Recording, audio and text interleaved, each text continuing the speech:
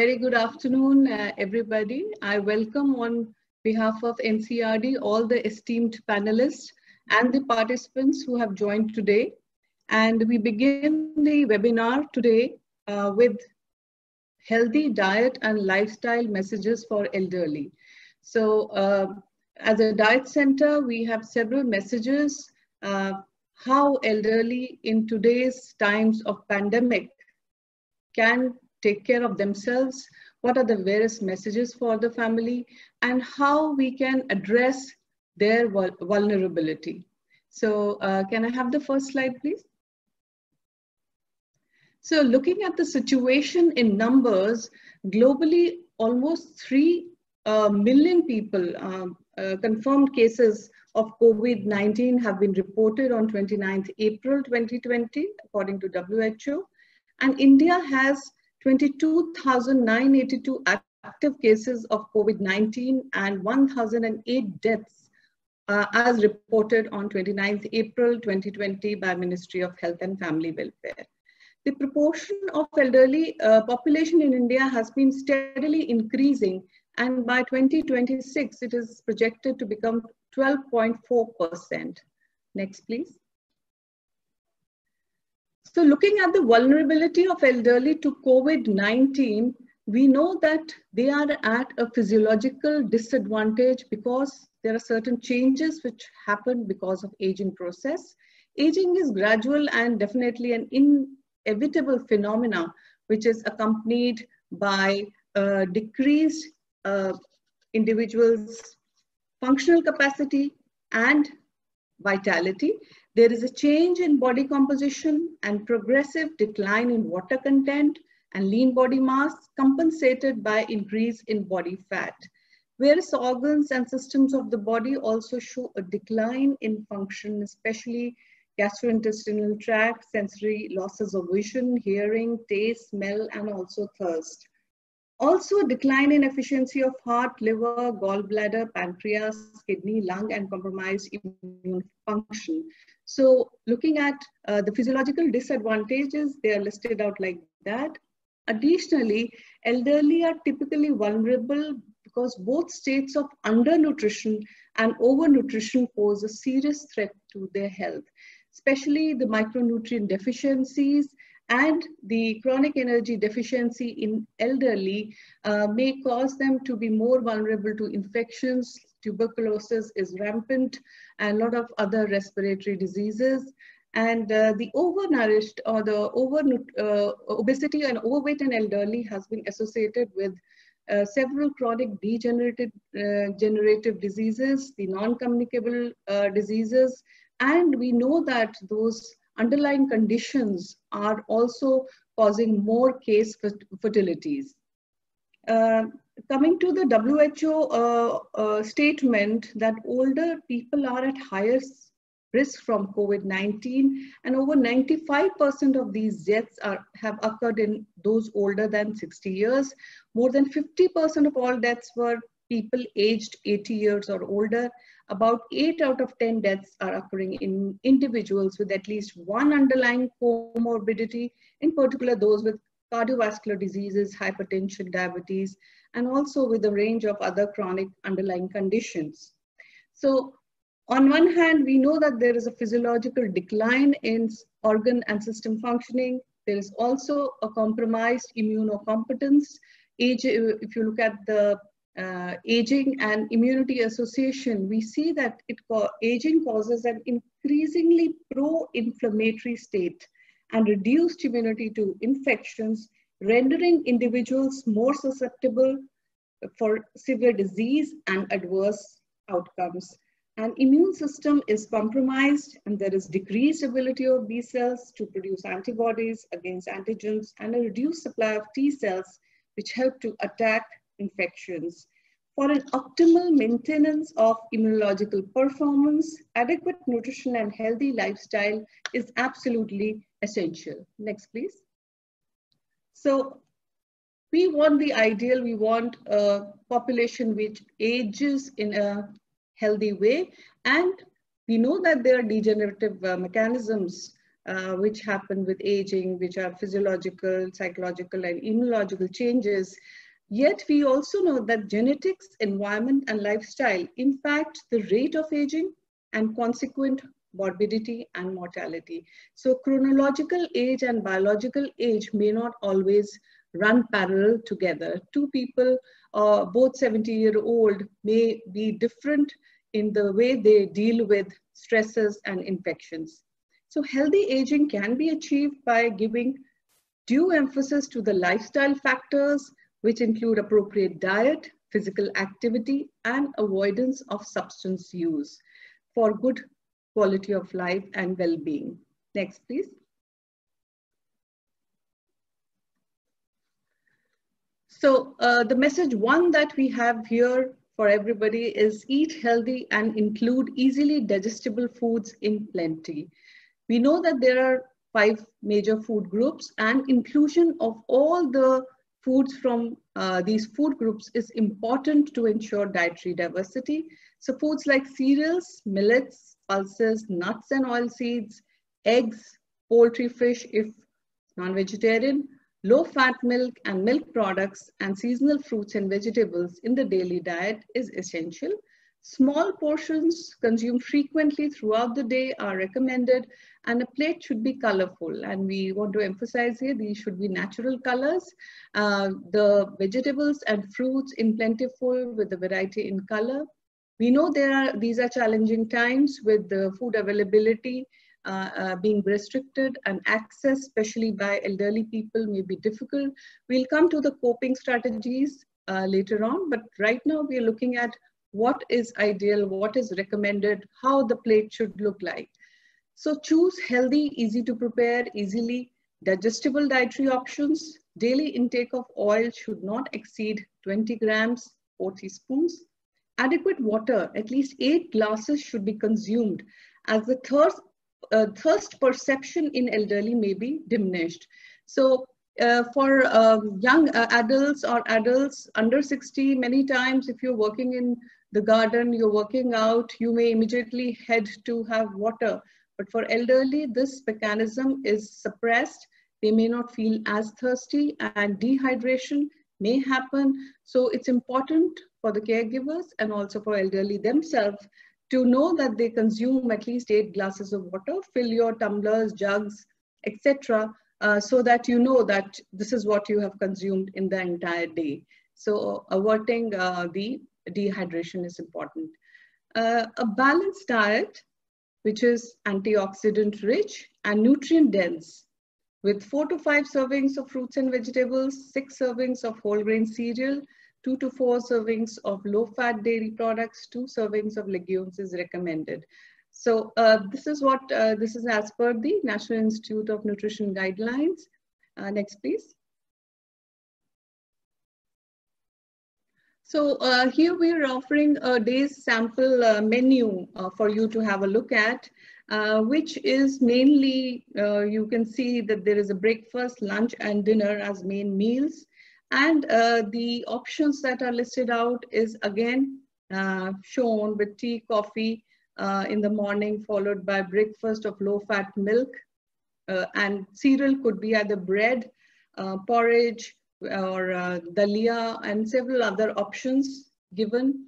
Uh, it's important for elderly to have good protein sources of uh, good biological value. So paneer, uh, vegetarian or uh, egg or uh, whole egg now can also be consumed in moderation. Mid-morning and evening could be light snacks like fruit chaats, sprout chaats, um, and lassi could be a beverage. Uh, then lunch could be salad or a vegetable soup, chapati.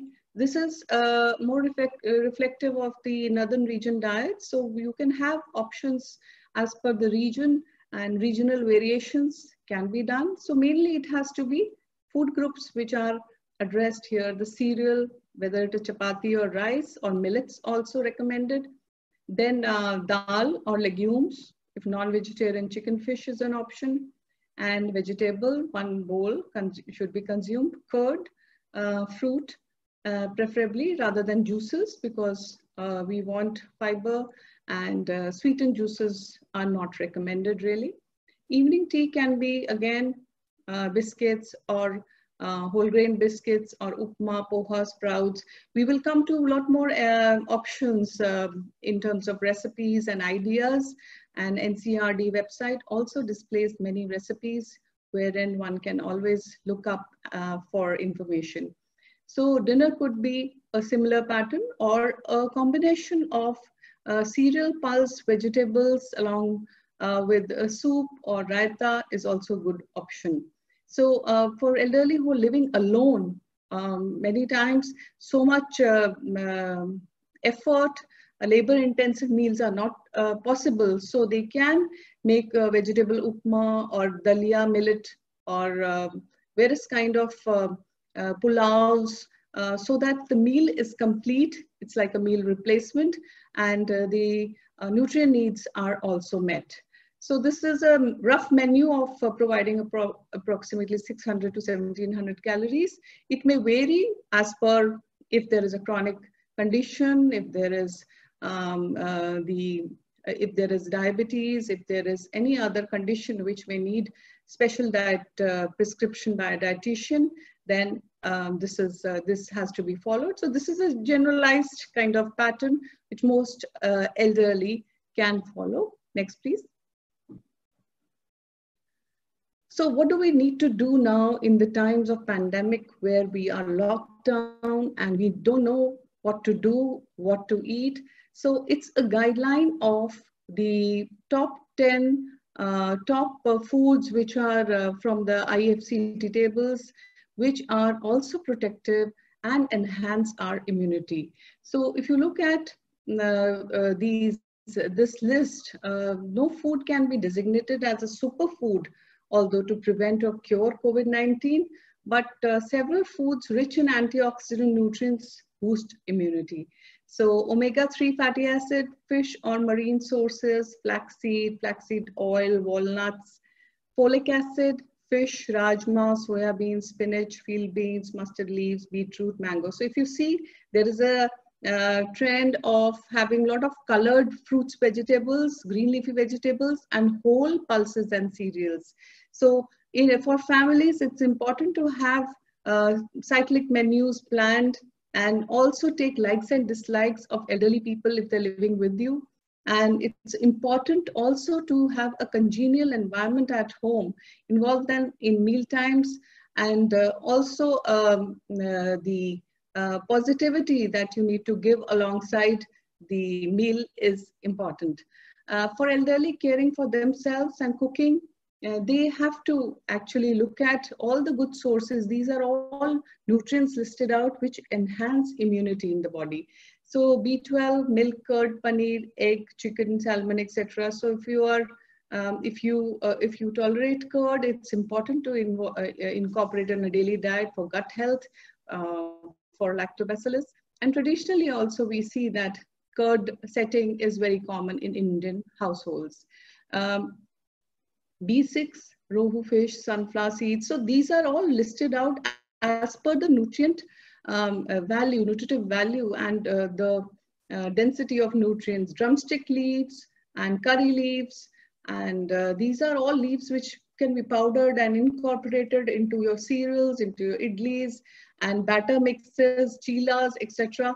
to enhance the normal dietaries that we are, are having. And uh, iron amaranth leaves, uh, which is cholai, horse gram, chicken liver, Bengal gram, whole raisins. So dry fruits, nuts, oil seeds also are very wholesome, can be consumed. Zinc, gingerly seeds, poppy seeds, soya bean, Bengal gram dal, uh, bajra, etc. So these are protective in terms of enhancing the immunity of the body, in uh, the um, enhancing the immunocompetence. Calcium, Uh, in poppy seeds, gingerly seeds, paneer, nolkol leaves, ragi, amaranth, horse gram, milk, milk etc. Vitamin A and beta carotene. It is a very important nutrient which enhances the immunocompetence and also is protective in acute conditions of the heart and events of uh, ischemic heart disease. Drumstick leaves, fenugreek uh, leaves, carrot, sweet potato, tomato, muskmelon, papaya, milk, etc. So immunity is not developed overnight. We understand that. But what we can do, we can strive to incorporate most of these ingredients in our daily dietaries to be able to cope best with the stresses of infection and also uh, the functional ability, which is very important for autonomous living for elderly. Uh, even if they're with the family, it's always good uh, that they are able to do the basic self-care activities for themselves, the activities of daily living. Uh, for vitamin uh, D, gingerly seeds, um, uh, soybean, walnut, maize, ragi, corn, wood apple, which is a bael fruit, will be readily available in the summer months is uh, very good. Bael sharbat is many uh, very often used. So avoid the sweetening of it, but it is a good uh, fruit. Uh, vitamin E, safflower seeds, almonds, coconut dry, egg, cutla fish, Bengal gram whole, spinach, etc. And uh, selenium, uh, selenium, nuts, fish, chicken, rajma, soya bean, mushrooms, etc. can be used. So other than the food sources that are mentioned above here, vegetarians can buy foods with plus F logo on the packets. And F plus logo foods are fortified with either one or more of the nutrients such as folic acid, vitamin A, vitamin D, vitamin B12, iron. These foods are wheat flour and rice, fortified with iron, vitamin B12, folic acid, milk and edible oil, fortified with vitamin A, vitamin D, and double fortified salt, which has uh, fortification iron and iodine both. Next, next slide, please. So uh, effort has to be uh, to reduce salt and not go overboard with adding table salt on our salads, etc. But incorporate herbs and spices and condiments to improve appetite and immunity. So taste acuity may decline with age. Elderly may feel that foods don't taste as good um, but uh, to stimulate appetite and promote digestion, herbs and spices uh, can be incorporated like fenugreek seeds, methi seeds for that matter have been uh, associated with being anti-inflammatory and relieving joint pains and aches.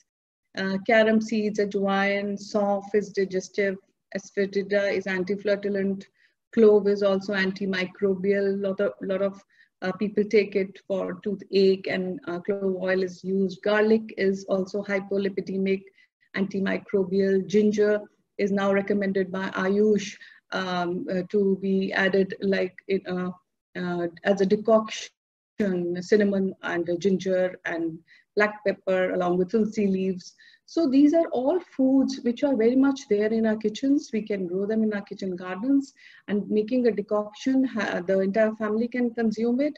And it is very much in line with our traditional diets and practices. So some of these have immunity enhancing properties also.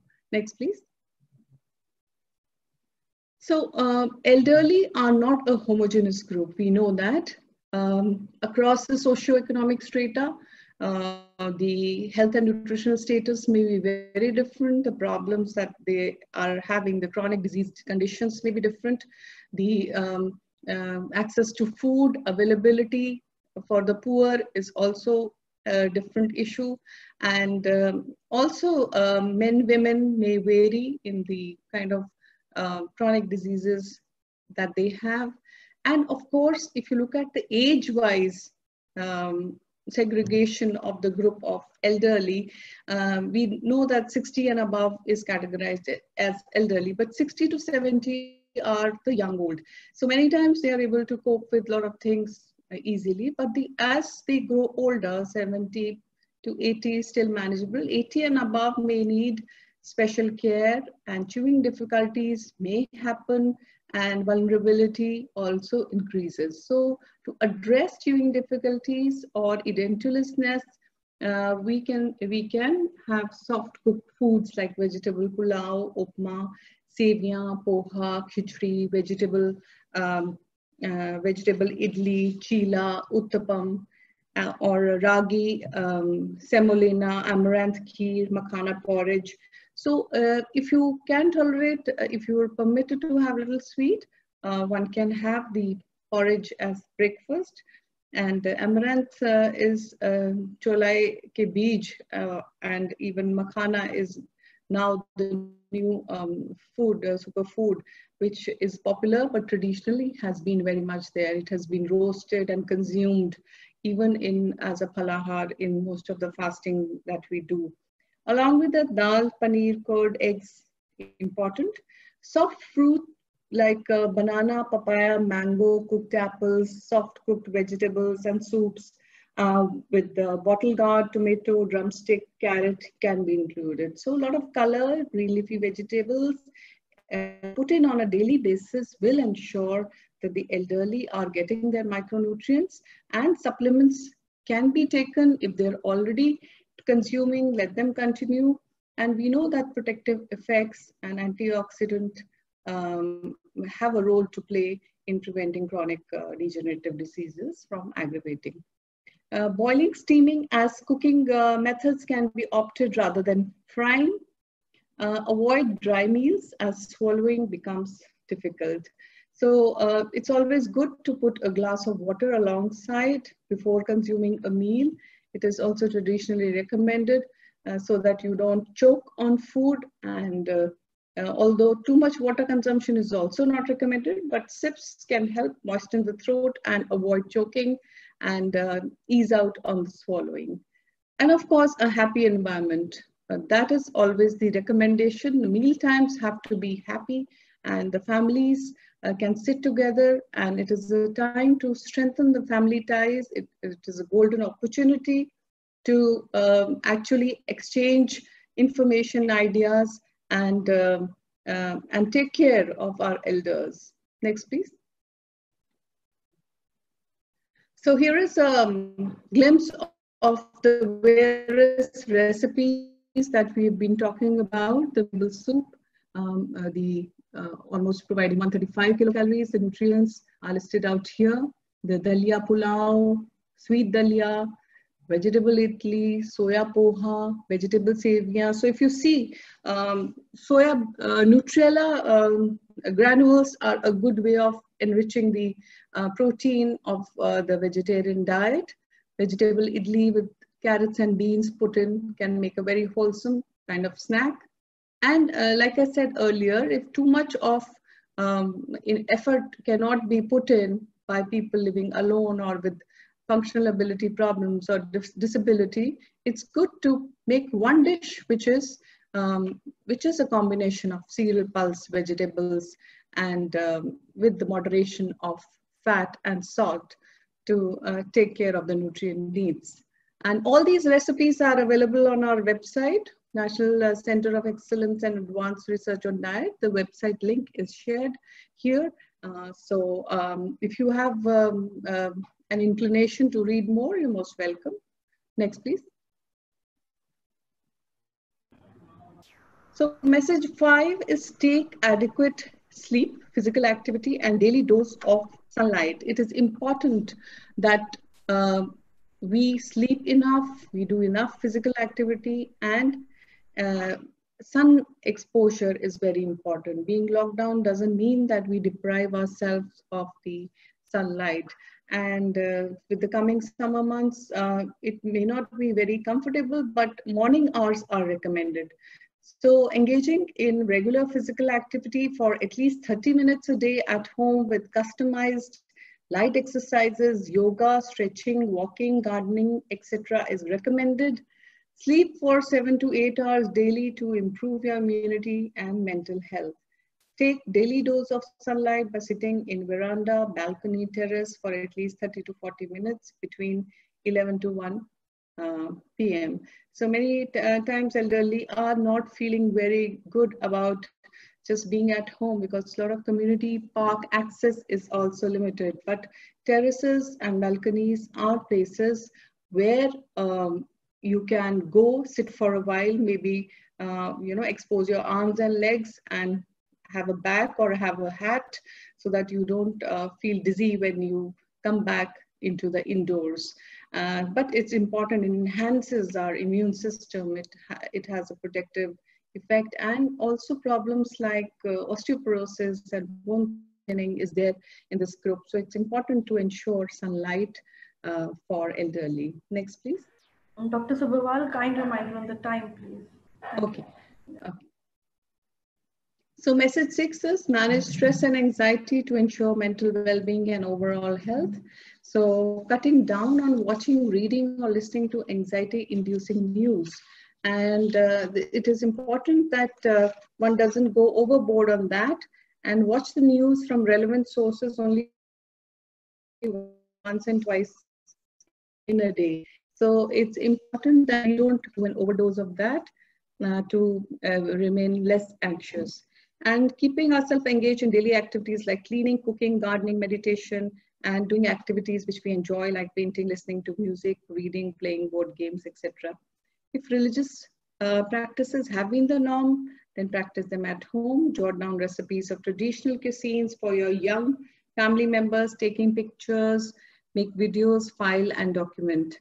So connect with others, talk to people you trust regarding your concerns and how you're feeling. Have a plan in case you get sick. Determine who can care for you if you need any help. So while you are uh, thinking, identify and make plan. Do not isolate yourself in one room, sit with family members and share your thoughts. So communication is very important in today's time. Next, please. Ensure personal hygiene. So the uh, hygiene and the sanitizing has to happen, washing your hands thoroughly with soap and water for 20 seconds at all critical times. Avoid touching eyes, nose, mouth, and face. Do not uh, cough or sneeze into your hands. Cover your hand with elbow or tissue. Dispose of this used tissue immediately. A lot of our information and videos are going out from the NCEARD uh, to the uh, population in general regarding the do's and don'ts. And keep at least one meter distance from people when going out of home. Report symptoms like fever, dry cough, or difficulty breathing immediately to guardian or health care provider. Next, please. So key considerations for family members or caretakers. If you are sick, stay away from elders at home, wear a mask, and follow all respiratory, personal hygiene, and physical distancing precautions. So if you have uh, visited outside with the opening of the lockdown, you may have uh, young people going out of the house working. So when you come back home, uh, it is important um, that you, uh, you change, you wash your hands, and do not touch people who are uh, there at home. So sanitize your hands, and then uh, a change of gear is important. Clean and disinfect frequently touched objects and surfaces like bed stand, bed rails. So all the places that are most often touched should be disinfected. Avoid sharing personal items. Do not mix your clothes with those of elders. That's important. So we need to protect our elders. We need to take these small, small little uh, care so that we don't transfer any infection. Make sure elderly wear freshly washed clothes every time they change. Their clothes must be washed thoroughly with detergent powder and hot water. Know what medications elders are taking. Monitor their appetite, food intake, and health conditions. Stress induces poor gastric motility and heartburn and leads to problems in digestion and poor dietary intake. So seek telecommunication consultation immediately from medical, paramedical practitioners if elders uh, feel sick. So it's important to sensitize the caregivers so that there is an alertness there and we don't miss out on signs. Then key considerations for family members and uh, caretakers further on, do not rush to buy store, store processed foods. So it's important to um, store the um, non-perishable foods and um, minimize the trips to the market because you're exposing yourself again and again to infection. Make, sure that elders are not completely bed-bound. Motivate them to be mobile and active and at home, make use of their expertise for cooking ideas, recipes, etc. Spend quality time with elders, recall all the pleasant memories to cheer them up, engage the whole family to do physical activity, playing games, etc. together, avoid visitors from outside, so uh, recall mode is very important. Many times we feel the short-term memory loss is there in elderly, but they can uh, recall really vivid details of what happened years ago.